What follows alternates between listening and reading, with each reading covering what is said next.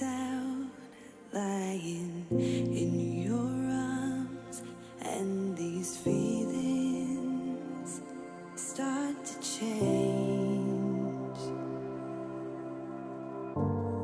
One look into your eyes, and I'm floating